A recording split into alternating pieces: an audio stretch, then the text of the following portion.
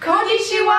I'm Mercedes. And I'm Phoenix. We're from the band Courage, my love. And we really want to tell you that we're putting out our second album, Becoming in Japan. We released it last year in Canada and it only had eight tracks. Wah wah! But we're releasing it in Japan soon with 13 tracks! Yay! Because you guys are so awesome and special, you have more music to listen to than anyone else in the world. We're really excited and we really hope you like it. Hope to see you soon. Aishitema!